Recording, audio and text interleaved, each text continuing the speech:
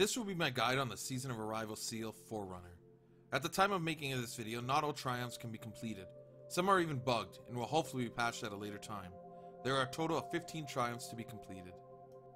The first triumph is to purchase all 21 gift upgrades from the Prismatic Recaster. This one is currently bugged and stuck at 1. The second triumph is to collect all 12 seasonal mods from Season of Arrivals. These can be bought at the Prismatic Recaster. Always check because a random mod will appear to be purchased, and it is timed. The third triumph is to create each kind of basic Umbral engram. This is the first row of engrams when going into the Umbral focusing vendor subscreen. At the time of making this video, the Exodus focused Umbral engram is unobtainable.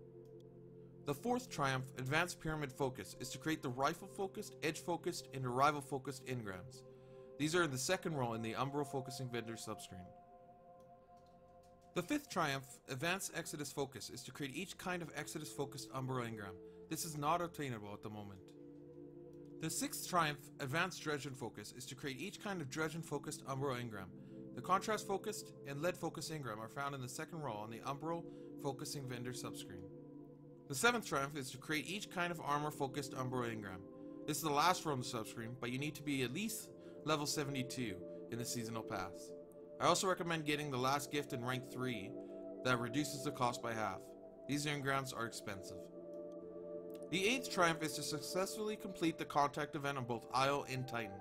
The location of contact changes weekly, so just keep an eye when the event will be on the planet you need. The ninth triumph is to defeat each boss in the heroic version of the contact public event. Taken Pyromaster, Taken Monstrosity, and Taken Howler. This triumph is currently bugged and Bungie are working on a fix. The tenth triumph is to complete each of the three encounter types in the mission Interference. The three encounter types are Ritual, Relic, and Crystal, and these uh, interference missions change weekly. These next five triumphs are marked as secrets, so spoiler warning, and I don't know what order they will be placed. But the first secret triumph is to defeat Savathun's mysterious supplicant in mission Interference. The second secret triumph is to collect all of the calcified light fragments. There are 25 to be collected. These fragments will be scattered on Io, Mars, and Titan, and will be collected, I believe, during an exotic quest mission. Once this is released, I will release a video showing all locations.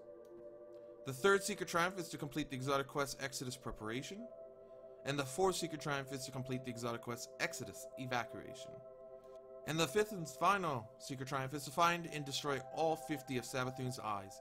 You will need the exotic Ruinous Effigy, which is obtainable from the Exotic Quest Missive, which hasn't been released yet.